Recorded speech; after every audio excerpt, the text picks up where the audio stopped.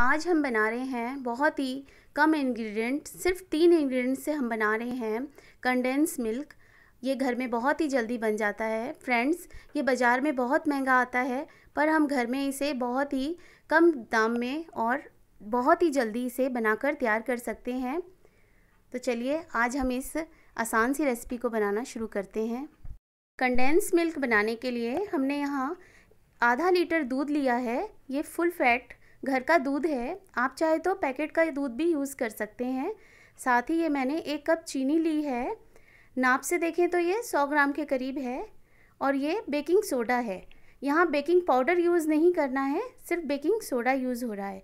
तो ये तीन इंग्रेडिएंट से हमारी ये रेसिपी बन जाएगी। अब हम एक कढ़ाई लेकर नॉन स्टिक की मैंने यहाँ कढ़ाई ली है। आप चाहे तो दूसरा बर्तन भी ले सकते हैं और ये आधा लीटर दूध मैंने ये पूरा डाल दिया है। और दूध डालने के बाद हमने इसे तेज़ फ्लेम में एक उबाल आने देना है। तो ये दूध में उबाल आ गया है। जैसे ही दूध में उबाल आ जाता है, मैं यहाँ एक कप चीनी इसमें डाल दे रही हूँ। तो आधा लीटर दूध के लिए मैंने एक कप चीनी यूज़ की है। और इसे अब किसी चम्मच या करछी से आप हिलाते रहें, ताकि किनारे में लगे ना। और जैसे ये मलाई जमने लगेगी तो आप इसे फिर मिक्स कर लें, हिलाकर इसी में और लगातार इसे हिलाएँ। चीनी डालने से क्या होगा कि इसका कंडेंस मिल्क का कलर बहुत ही अच्छा आएगा क्रीमिश सा कलर इसका आता है। यहाँ देखिए, दूध हमारा अच्छे से पककर एक तिहाई हिस्सा रह चुका है। काफ़ी गाढ़ा हो गया है।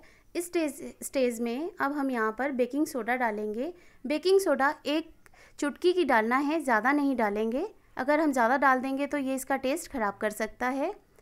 इसको डालते ही दूध में बहुत तेज़ उफान आएगा तो हमने गैस की फ्लेम स्लो कर देनी है और चम्मच से इसे लगातार चलाते रहना है। ये देखिए, बेकिंग सोडा डालने से ये इसमें लम्स नहीं पड़ने देता है और इसे गाढ़ा करता है। जैसे ही ये इस स्टेज पर आ जाए, काफ़ी गाढ़ा हो जाए तो आपने गैस की फ्लेम बंद कर देनी है। यहाँ मैंने गैस बंद कर दी है और इसे फिर भी लगातार हिलाते रहना है, जब तक ये थोड़ा ठंडा ना हो जाए। तो ये मैं इसे लगातार हिला रही हूँ। ठंडा होने के बाद भी ये और गाढ़ा हो जाएगा, इसलिए आप इसे लगातार चलाते रहें थोड़ी देर के लिए। देखिए, एक घंटे के बाद ये कुछ ऐसा हो चुका है, ये ठंडा हो गया है काफ़ी और और पहले से ज़्यादा ये जम गया है।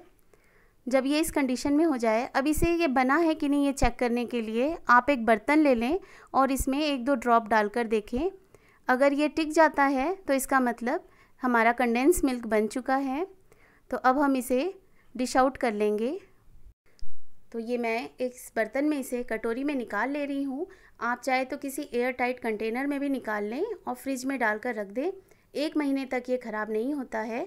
कंडेंस मिल्क मिठाई केक खीर, हलवा कई चीज़ों में पड़ सकता है तो आप इसे बनाकर ज़रूर ट्राई करें। बच्चों को ये बेहद पसंद आता है और इससे बहुत ही जल्दी हमारी डिशेस बनकर तैयार हो जाती हैं। ये देखिए, हमारा कंडेंस मिल्क बनकर तैयार हो गया है।